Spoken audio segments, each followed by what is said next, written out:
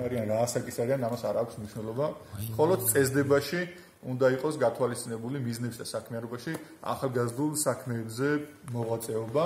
წესდებაში შეიძლება იყოს აი ამ სახით ჩაწერილი, ან თვითონ უშუალოდ ორგანიზაციას როგორც ექნება გათვალისწინებული ეს ახალგაზრდულ საქმიანობაზე მუშაობა, ესე გაწერილი. აა მაგრამ როგორც ვიქართ ეს კონკურსი ცოტა განსხვავდება ჩვენი ყოველწლიური კონკურსებისგან და ამ სხვაობებზე დაგესაუბრებით ახლა.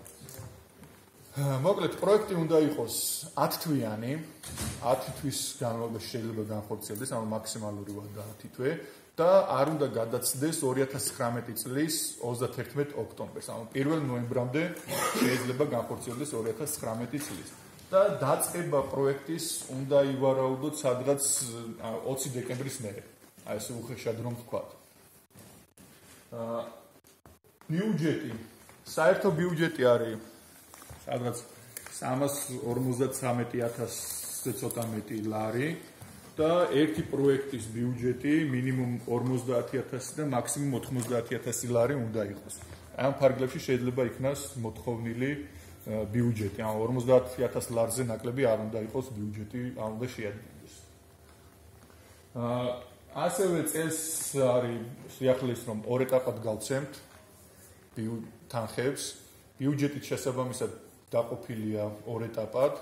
და პირველ ეტაპზე გადმოგერიცხებათ ის თანხა, რაც პირველ ეტაპზე იქნება მოთხოვნილი და მეორე ეტაპის თანხა გადმოერიცხება იმ შემთხვევაში, როდესაც პირველი ეტაპის დასრულების ანგარიში იქნება სრულყოფილად ჩაბარებული და ასე ვთქვათ, ყველა ის მიზანი, რაც პირველ ეტაპზე იყო გათვალისწინებული, მიღწეული იქნება.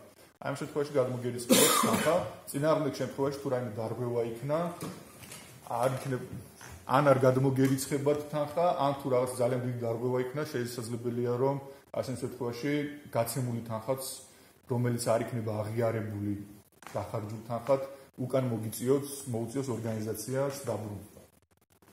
ეს ყველაფერი უკვე ხელშეკრულებაში იქნება გაწერილი აი ეს პირობები. აა ასევე ვინაიდან ეს არის საერთაშორისო გრანტი, საერთაშორისო დაფინანსება, გამარჯვებული ორგანიზაცია შესაძლებელი გათავისუფლებული იქნება დერიგესგან. ამაზე თქვენ არ მოგიწევთ რაიმე დამატებითი ღონისძიების ჩატარება, უბრალოდ გამარჯვებული ორგანიზაციები დარეგისტრირდებიან შემდეგ სპეციალურ საიტზე, პორტალზე, სადაც არის ეს ჩამონათვალი ორგანიზაციების, რომლებიც არიხდიან დერიგეს და ასე ვთქვათ, ერთგვარი საშუალება ექნება იმისა, რომ ვისგანაც შეისყიდით, ის დაარწმუნოთ, რომ თქვენ ამდენად არ ხართ დერიგეს გადამხდელი და ფასი გამოგიწეროთ და საბუთი მოგცეთ დერიგეს გარეშე ღირებულების. ასევე ეს უნდა გაითვალისწინოთ, ეცადეთ რომ გაითვალისწინოთ ბიუჯეტის შედგენისასაც. აუ ეს ეხება შესყიდვებს მხოლოდ. აა ეხლა სადარი საერთოდ შეგიძლიათ აპლიკაციაში შესვლა.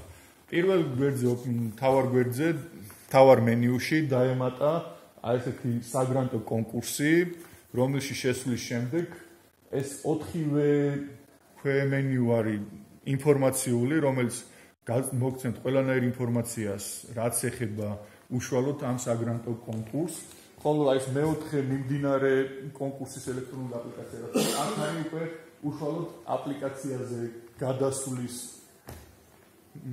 ლინკი, გმული და აი ეს ელექტრონული გადადიხართ უკვე აპლიკაციაზე. ასევე არის შეგიძლიათ აქედან ჩამოტვირთოთ ფონდის მიერ დამტკიცებული ყველა ის დოკუმენტი და რომელიც არის ჩვენს მიერ დამტკიცებული ფორმა, რომლის შეცვლაც არ შეიძლება და ისეთი ფორმით უნდა წარმოადგინოთ, რაც იქნება ჩამოტვირთული დოკუმენტში. ანუ იქ გრაფების დამატება შესაძლებელია, უშუალოდ შინაარსობრივი და ფორმის შეცვლა ან მაგალითად ბიუჯეტი თუ არის Excel-ის ფორმა, PDF ფორმით არ უნდა PDF-ით არ უნდა გადმოაგზავნოთ და ასე შემდეგ. ან Word-ი თუ არის სხვა ფორმატში არ უნდა გადაიყვანოთ და ასე შემდეგ. რაც როგორიც იქნება ფორმა, იმ ფორმაში შეავსებთ, გრაფების დამატება შესაძლებელი არის, ამაზე პრობლემა არ იქნება. უბრალოდ გაითვალისწინეთ ის, რომ ბიუჯეტი არის Excel-ის ფორმა, უკვე გამზადებული რაც არის იქ შესაბამის გრაფებში არის ფორმულებია ჩასმული. და გრაფების დამატების შემთხვევაში მიაქცეთ ყურადღება, რომ ფორმულები გადავიდეს სხვა დამატებულ გრაფებზეც და ხელით დაანგარიშება არ მოგიწიოთ. იმიტომ რომ ხომ და ხომ ეგეთი შემთხვევები და შემოქმედები პრობლემები შეიქმნა ცირედი მაგის გამო. ასევე აქვე შეგიძლიათ ნახოთ საგრანტო კონკურსის გზამკვლევი, რომელიც შეგიძლიათ ჩამოტვირთოთ, გაეცნოთ შინაარსობრივად რას გულისხმობს უშუალოდ ეს პროექტი, რა მიმართულება არის, რას ეხება და ფინანსური გზამკვლევი, ფინანსური გზამკვლევი უკვე უფრო გამოადგება გამარჯვებულ ორგანიზაციებს, სადაც არის ჩამონათვალი იმ დოკუმენტაციის, რომელიც შეიძლება მოთხოვოს ორგანიზაციამ ფიზიკურ ან იურიდიულ პირს შესყიდვების შემთხვევაში. ანუ რა დოკუმენტაცია მე ჩვენთან უნდა წარმოადგინოთ. ასევე თავიდან დამავიწყდა აღმენიშნა, რომ აღნიშნული პროექტის ბენეფიციარები უნდა იყვნენ მოწყვლადი ჯგუფებიდან, მოწყვლადი ჯგუფებიდან, თუმცა არ არის სავალდებულო, რომ ეს ჯგუფი იყოს, ანუ ბენეფიციარები 100%-ით იყოს ამ ჯგუფებიდან დაკომპლექტებული. შეიძლება იყოს შერეული ჯგუფიც, ეს თქვენ უნდა განსაზღვროთ, თუმცა მეტი წილი უჯობესია რომ მოდიოდეს ასე ვთქვათ, მოწყვლად ჯგუფებზე. ეს არის უცხოელო სარეგისტრაციო ფორმა, რომელიც თავდაპირველად უნდა გაიაროთ რეგისტრაცია. აუ არ აქვს მნიშვნელობა თქვენ უკვე იყავ გქონდათ ჩვენგან გრანტი მიღებული ან გქონდათ რეგისტრაცია გავლილი თავიდან უნდა გაიაროთ რეგისტრაცია სმარტივი ფორმა არის ორგანიზაციის საიდენტიფიკაციო კოდი რომელიც ასევე არის მომხმარებლის სახელიც რომელთაც შედიხართ სისტემაში უნდა მივხვდეთ ელექტრონული პოსტა რომელიც არის ბოქმედი და რომელზეც ლეში ერთხელ მაინც ამოწმეს ორგანიზაციის ხელმძღვანელი იქნება თუ ორგანიზაციის რომელიმე წარმომადგენელი, რადგან ამ ქმიდის ყველანაირი ინფორმაცია, რასაც ჩვენ გვინდა რომ მივაწოდეთ ორგანიზაციებს. აროლი უკვე თქვენზეა დამოკიდებული, აქ შეზღუდვა არ არის სიმბოლოების დიდი ასო უნდა იყოს რაღაც ციფრი, ანუ ეს არ არის შეზღუდვა თქვენი სურვილით, რაც გინდათ იმას დააკეთებთ პაროლად. და უკვე ამ შესაძლებელი შემდეგ რეგისტრაციას რო დააწვევით, აქაც გამოჩნდება და მითითებულ ელექტრონულ პოსტაზეც მოგივათ შეტყობინება წარმატებით გავლის შემთხვევაში. არის ხოლმე შემთხვევები ისეთიც, რომ რეგისტრაციის დროს საიდენტიფიკაციო კოდში, ანუ საიდენტიფიკაციო კოდი რაც არის, ან ციფრი ეშლება, თან რაღაც გადაადგილებულად იწერება ციფრი და შემდეგ ვეღარ შედიან ხოლმე. ესეთ შემთხვევაში თუ პრობლემა შეიქმნა დარეგისტრაციის რეგისტრირების შემდეგ, რომ ვერ შედიხართ სისტემაში, ჯობია რომ დაგვიკავშირდეთ, გითხრათ პრობლემა რა არის და ჩვენ ყველანაირად შევეცდებით რომ ეს პრობლემა უმოკლეს დროში გადავჭრათ. რაც შეეხება უკვე რეგისტრაციის შემდეგ უკვე შედიხართ უშუალოდ აპლიკაციაში. თავიდან ძალიან მარტივად ესე ვთქვათ, ორგანიზაციის სახელწოდება, პროექტის დასახელება, ამავდროულად უმეტეს პუნქტებს აქვს მინიჭებული ვარსკვლავი, რომელიც არის სავალდებულო შესავსები.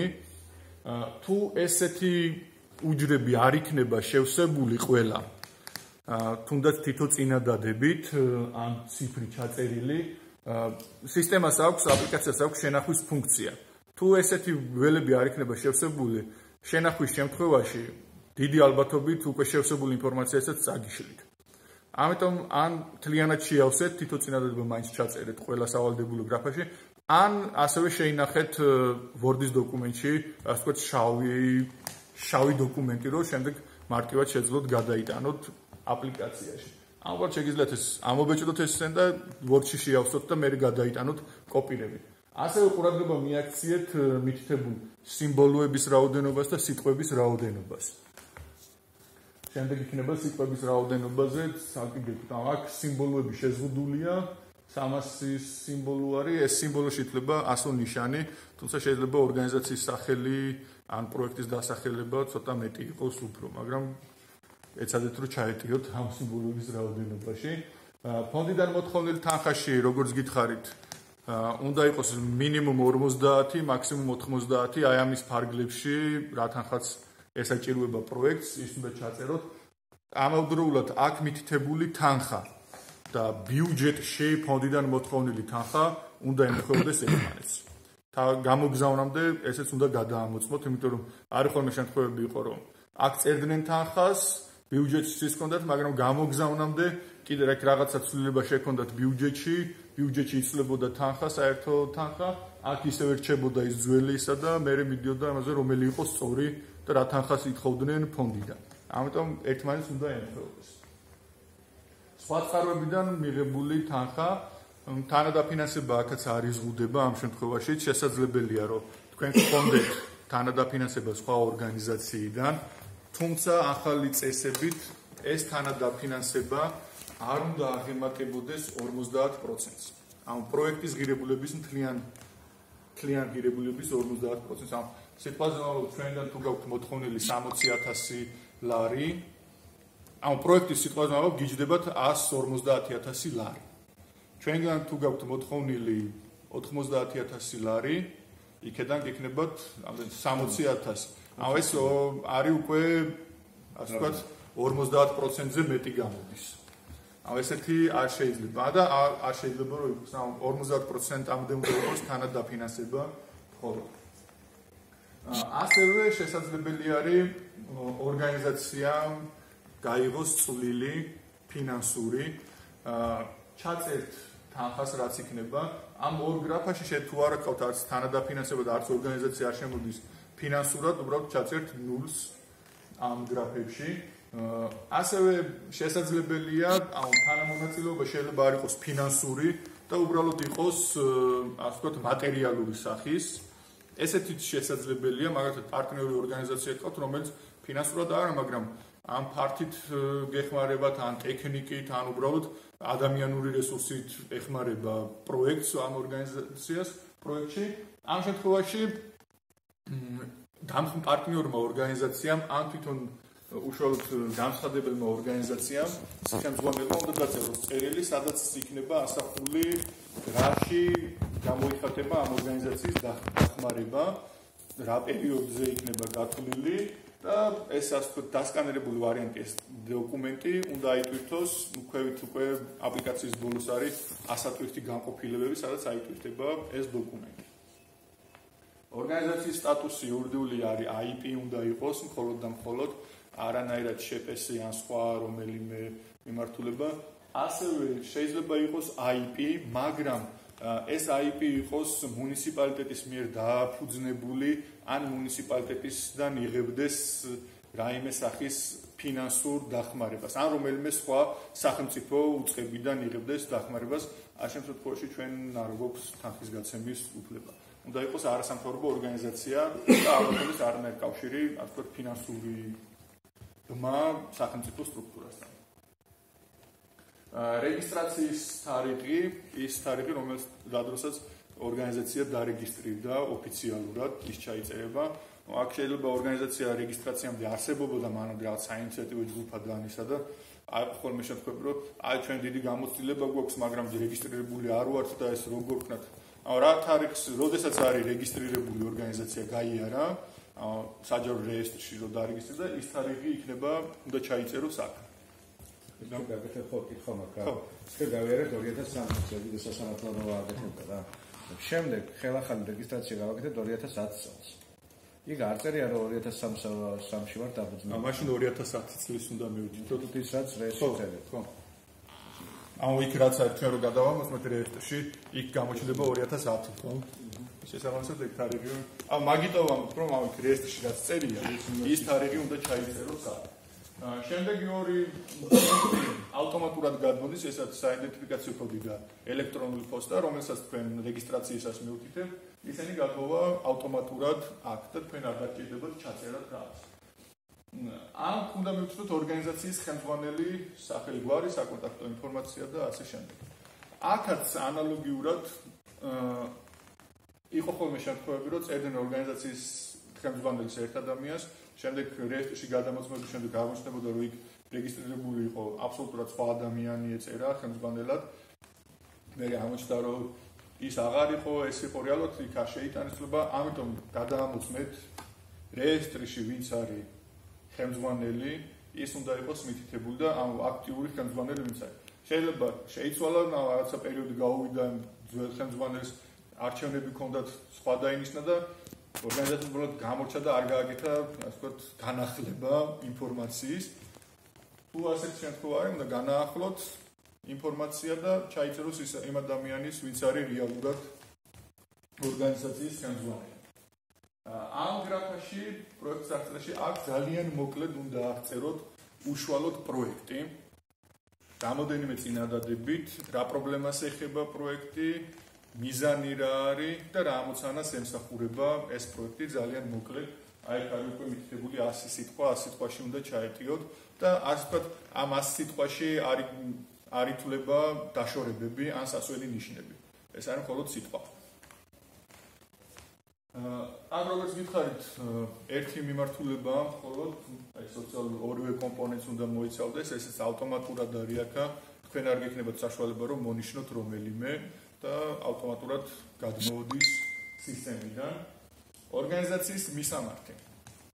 აქ ჩაწერთ მისამართს, ოღონდ თუ ორგანიზაციის იურიდიული და ფაქტობრივი მისამართი განსხვავდება ერთმანეთისგან, უნდა მივუთითოთ ორივე და აღნიშნოთ რომელი რომელი არის. თუ ერთი და იგივე არის იურიდიულიც და ფაქტობრივი მისამართიც შეიძლება მაშინ ერთ მისამართს და ამით დასრულდება.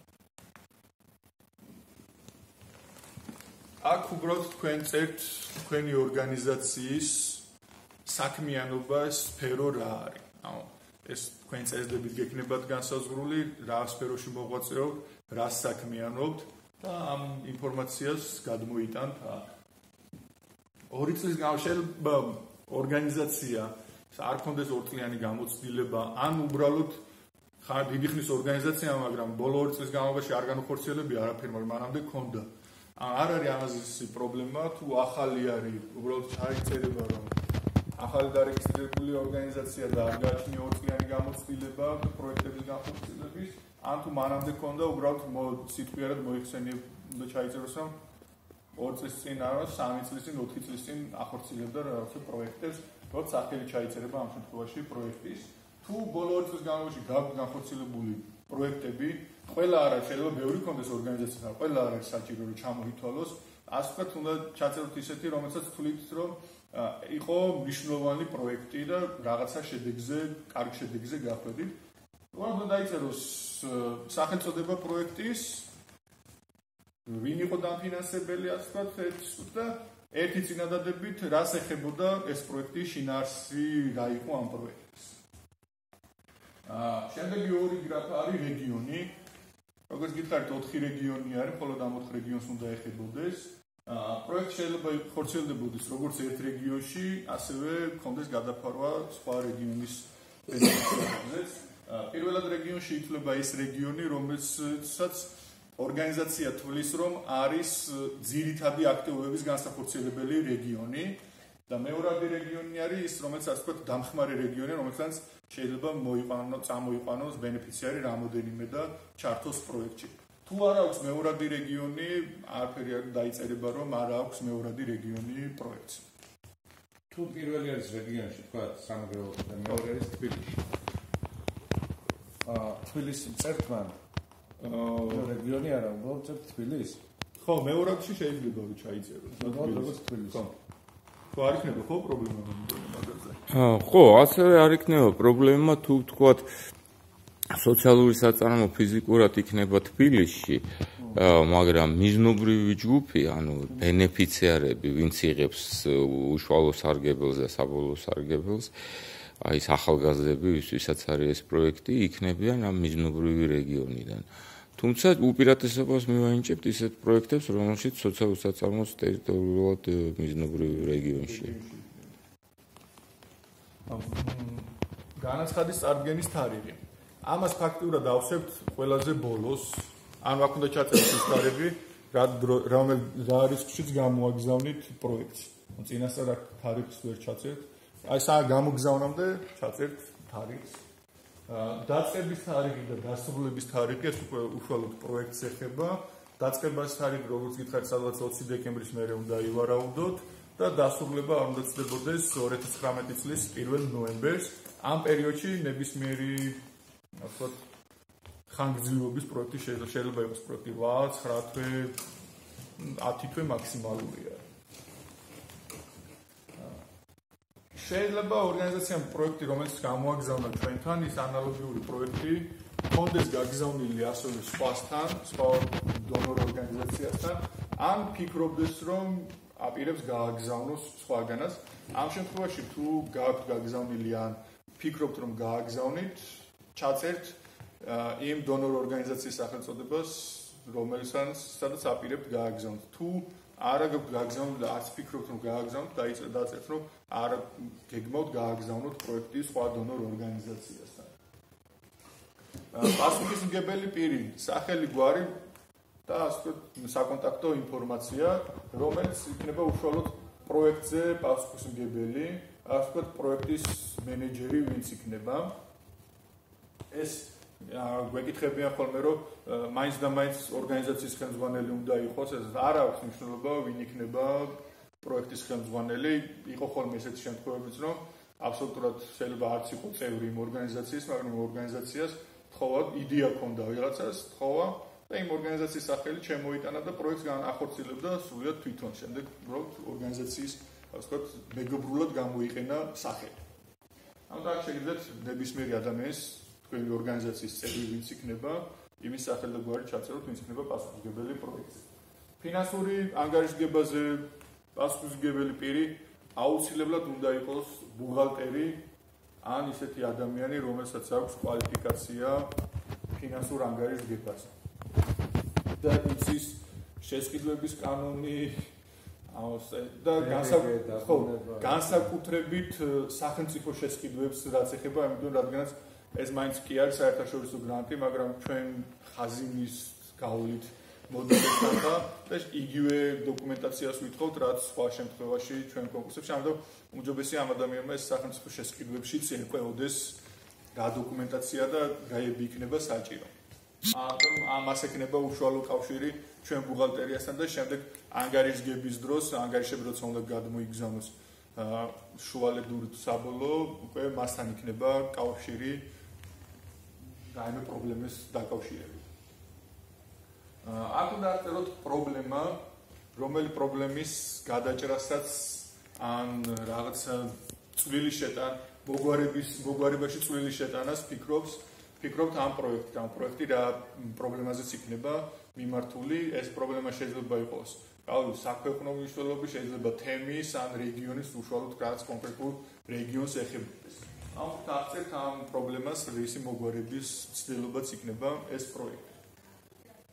აა ეს არის ასე ვთქვათ მიზანი, ეს არის ასე ვთქვათ ძირეული შინაარსობრივი ნაწილი პროექტის. აქ უნდა დაწეროთ პროექტის შინაარსი, რას ეხება პროექტი. აუ რაზე ორიენტირებული და რისი გაკეთება გსურთ ამ პროექტში. მოგეთ კლიენტ შინაარსი უნდა ჩაატიოთ 800 სიტყვაში. სამიზნე ჯგუფი, როგორც გითხარით, უნდა იყოს მოწყვლადი ჯგუფი. თუმცა არ არ ბლოკავთ იმასაც ვისაღებია ის რომელიც თუ არ იქნება ამ ჯგუფში შემადგენლობაში იქნებიან არამოწყვლადი ჯგუფებიდანაც. თუმცა ამ ასევე უნდა გაითვალისწინოთ გარდა იმისა რომ ჩაწერთ რომ ბენეფიციარები იქნებიან რომელიღაცა რომელიმე რეგიონის მოწყვლადი ჯგუფები, ასევე უნდა ჩაწეროთ რაოდენობა იმ ადამიანების ბენეფიციების რამდენისაც აპირებთ ჩართოთ სკოლის სამუშაოს გადასვლის პროცესის ხელშეწყობაში და ასევე რამდენის დასაქმებას აპირებთ შემდეგ უკვე შექმნილ სოციალურ საწარმოში.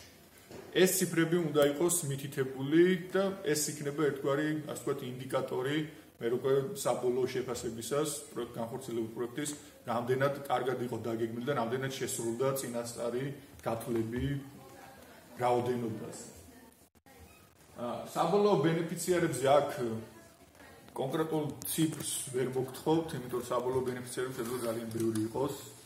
ესენი არიან ის ჯგუფი, რომლებიც უშუალო ბენეფიციარების, ასე ვთქვათ, თემში არიან აუცილებლად მშობლები, მე სამეზობლო, სოფელში მაცხოვრებლები ან მის უბანში მაცხოვრებლები ან ეს უკვე თქვენზე იქნება ვის რომელი იქნება უშუალო ბენეფიციარების აუ ის ადამიანები რომლებიც ირიბად მიიღებენ სარგებელს ამ პროექტიდან.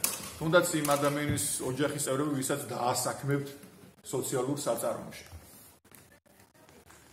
მოსალოდნელ შედეგებში ჩაწერთ იმას პროექტიდან პროექტის განხორციელების შემდეგ რას მოელით ну გარდა იმისა რომ ვიღაც სიტყვაზე 20 ახალგაზრდა იქნება გადამზადებული, რაღაცა ხელობა შეისწავლიან თუ რაც უნარებს შეიძენენ და 5-6 ადამიანი დასაქმდება. გარდა ამისა, რა შედეგის ელიტ პროექტი და რა შედეგზე გასვლას ფიქრობ ამ პროექტით? აი ეს უნდა აღწეროთ ამ გრაფაში. აქტივობებში წერთ ყველა იმ აქტივობას, რაცაც განახორციელებთ პროექტის განმავლობაში. ეს იქნება, შეიძლება იყოს სოციალური საწარმოს მოწყობიდან დაწყებული, რაც ფართის მოწყობით დაწყებული, უშუალოდ სხვადასხვა სასწავლო კურსების განხორციელება.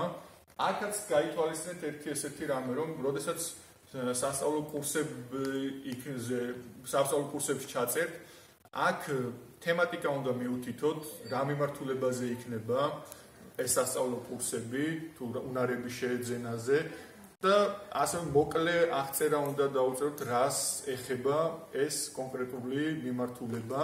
ასევე ხანგრძლივობა, ანუ დღის განმავლობაში რამდენ ხანს გაგრძელდება და საერთო ხანგრძლივობა რა იქნება? ერთი კვირა, 10 დღე, ერთი თვე. ამას მიუთითებთ. ასევე თქვენ შეიძლება ორგანიზაცია შეიძლება წინასწარ ყავდეს ან პარტნიორი ორგანიზაცია უგზავნიდეს ტრენერი იქნება ეს მასწავლებელი ლექტორი თუ ვინც იქნება, ვინც ჩაატარებს უშუალო ამ საგანმანათლებლო კურსს, მისი სახელი და გვარი, ანუ პიროვნება იცით ვინც იქნება, შეგიძლიათ მიუთითოთ მისი სახელი და გვარი. ოღონდ ამ შემთხვევაში უნდა გამოაგზავნოთ ამ ადამიანის CV-ც, რომელსაც ადასტავ CV-ში უნდა ჩანდეს, რომ ის ადამიანი კომპეტენტურია იმ სფეროში და იცის ის სფერო და შეუძლია რომ ჩაატაროს საგანმანათლებლო კურსი. მონიტორინგში და შეფასებაში აქ უნდა მიუთითოთ თვითონ მონიტორინგის სახები როგორ შეიძლება განხორციელდეს მონიტორინგი. გარდა იმისა რომ ჩვენი ფონდის წარმომადგენელი ჩამოვა და ადგილზე ამ წავა და ადგილზე შეამოწმებს რა როგორ მიმდინარეობს პროექტი კონკრეტულ ეტაპზე. აუ იქ თლიანი სამ სამოქმედო გეგმით რო იქნება რაღაც ეტაპები რომელიღაც ეტაპზე რო ჩავა იქ რო არის გათვალისწინებული რაღაც 10 ღონისძიება უნდა ჩატარებული იყო რაღაცა როგორ ჩატარდა ეს ღონისძიება შედეგი რა იყო ამ ნამდვილად განხორციელდა თუ არა. ასევე შეიძლება იყოს ფოტო-ვიდეო მასალა, მონაწილეთა დასწრების სია. აუ ეს უკვე თქვენ უნდა განსაზღვროთ რა სახით შეიძლება გაკეთდეს მონიტორინგი აღნიშნული პროექტის. დაშვებები და რისკები. ეს არის ხოლმე, ასე ვთქვათ, ცოტა პრობლემური გრაფა, იმიტომ რომ ორგანიზაციების უმეტესობა ამ გრაფოს რატომღაც გვერდსულის ხოლმე და უბრალოდ წერენ რომ პროექტს არ აქვს არანაირი რისკი. ყველა პროექტს აქვს და მე აღმოჩნდება ხოლმე რომ დაფინანსების შემთხვევაში აღმოჩნდება ხოლმე რომ ძალიან ბევრი პრობლემის წინაშე დგებიან განხორციელებისას. ამიტომ კარგად განსაზღვრეთ რისკები რა შეიძლება რა შეიძლება წააწყდეთ პროექტის განხორციელებისას. ვინაიდან აქ როგორც ვთქვათ უნდა ყავდეთ როგორც ახალგაზრდები ასევე სოციალური საწარმო უნდა შექმნათ შეიძლება იქ ფაქტზე რაღაცა პრობლემები შეიქმნას არის ახალგაზრდების ინტერესმა იკლოს შუაში ეს უკვე თქვენ უნდა განსაზღვროთ რა შეიძლება იყოს რისკი გარდა იმისა რომ შეიძლება უბრალოდ ვალუტის კურსი შეიცვალოს და თქვენ შესაძლებლობები გქონდეთ საზღვარგარეთიდან გინდოდეთ შესყიდვა და ამ კურსის ცვალებადობის გამო გაგიზვირდეთ პროდუქცია. აა აქ ხო ისა დაშვებებში დაშვებებში შეგიძლიათ თუნდა გაითვალისწინოთ ის და ესეთი ქმედებები რომელმაც შეიძლება პროექტის მსვლელობისას რაიმე სასიკეთო ძვრა კონ ძვრა გაუკეთოს ამ პროექტს შეიძლება მუნიციპალიტეტი დაგეხმაროთ რაღაცაში შეიძლება ვინმე კერძო ბიზნესმენია რომელიღაცა კომპანია შეხნა მოსწრები აი ამ იმაში თვითონ რისკები ან დაშვებები და რისკები. რისკებში ხო, აუ ერთად ხო, ერთად აუ. ან ან კონკრეტული რისკი რაღაცა რომელიც შეიძლება წარმოიშვას რაღაცა რაღაცა დაშვებით იმას აღმოფხვრა. სიგი მე მინდა დავამატო პატარა კომენტარი იმასთან დაკავშირებით თუ როგორი იქნება ესე იგი კარგად დაწერილი პროექტი და როგორ ამ კარგად დაწერილ პროექტში როგორ კავშირშია მიზნებები მიზნები, აქტივობები, შედეგები და რისკები ერთმანეთთან. ეს რო კარგად დაწეროთ, პრინციპში უნდა იცოდეთ ეგრეთ წოდებული ლოგიკური ჩარჩოს მიდგომა. თუ ეს იცით, ამას ამ კატეგორიებს ადვილად გაიგებთ, ესე იგი რა კავშირია, მაგრამ მე მაინც მოკლედ ვახსენებ, ანუ აქტიობებს აქვს აა უშუალო შედეგის მიღწევის უნარი, ანუ აქტიობების რაღაცა აქტიობები რაღაცა შედეგამდე მიდის. ეს აქტიობები აქტიობების ნაწილში იწერება, ხო, შედეგი შედეგებში. ამ შედეგებს მოყვება მიზნის მიღწევა. ანუ ყველა ეს შედეგი, რაც გვაქვს პროექტში დაწერილი, არის იმისთვის, რომ რაც ვთქვით, იმ მიზანს მივახციოთ. მაგრამ თითოეულ აა ჯერზე, ესე იგი, როდესაც აქტიობები აღწევს შედეგს, ეს ხდება გარკვეული დაშვების და გარკვეული რისკების პირობებში.